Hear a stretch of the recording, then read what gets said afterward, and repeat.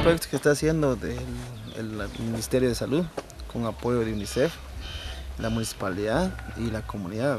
En cuanto al ministerio, pues nosotros damos la asesoría técnica en cuanto a la construcción de brocal, la caseta y lo que son los materiales, la caseta y la, la, plancha, pues nos dio UNICEF. La mano de obra, pues nos dio la del albañil, nos dio la municipalidad por una quincena.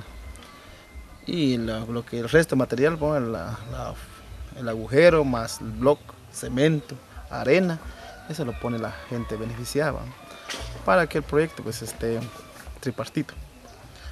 se hace, esto hacemos con el fin de que, de que sean letrinas de modelo. Tenemos en, en proceso de construcción de 28, 28 letrinas, ya con, todas las técnicas de ley.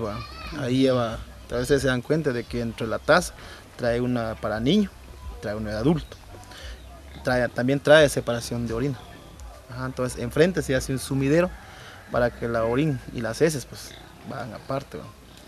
Aquí nos falta lo que es la, un tubo negro que va, que va a ir al lado donde realmente alumbra el sol todo el día, con tal de que los rayos ultravioleta pues, penetre a la profundidad del agujero y eso hace que, que seque las heces en él, para que no tenga mal olor.